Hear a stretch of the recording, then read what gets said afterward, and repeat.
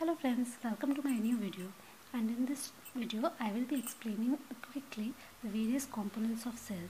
So in a cell, first we will divide the cell in three components, okay? So the first one is cell membrane.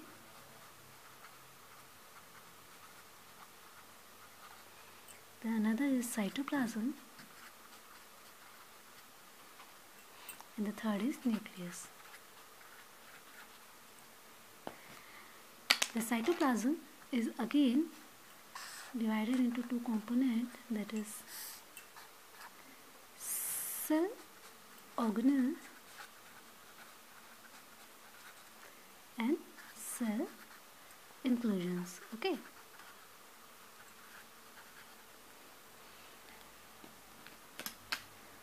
the cell organelles they can be further divided into two. Okay first is membrane bound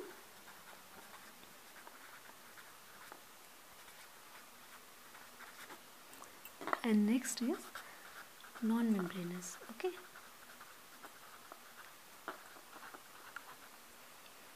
So the membrane bound are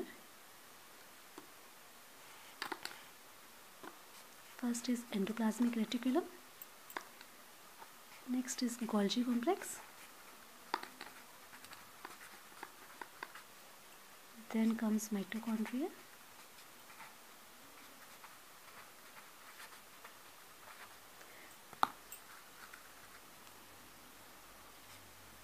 Then plastids.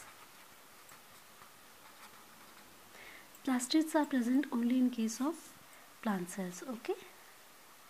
Eh? and lysosomes. So I am marking here with double star the plastids they are present only in plant cells and lysosomes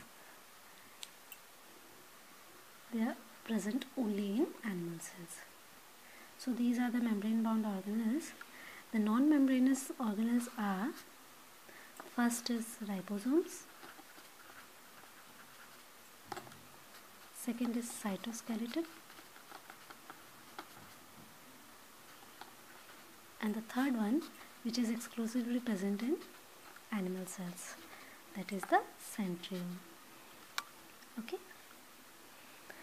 The cell inclusion it includes in it contains three parts. Okay? It can be divided in three parts. First is storage product. That includes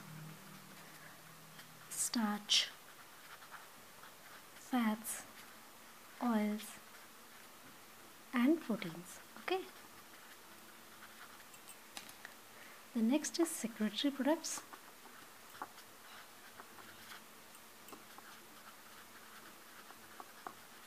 such as enzymes,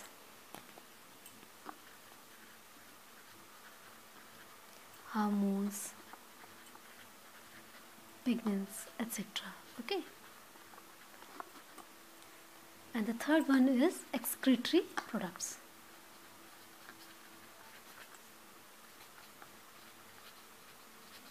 The excretory products contains inorganic salts latex tannins and essential oils So these excretory products they are present specifically in plant cell only. Okay. So these are the overall component of a cell. Thank you for watching my video.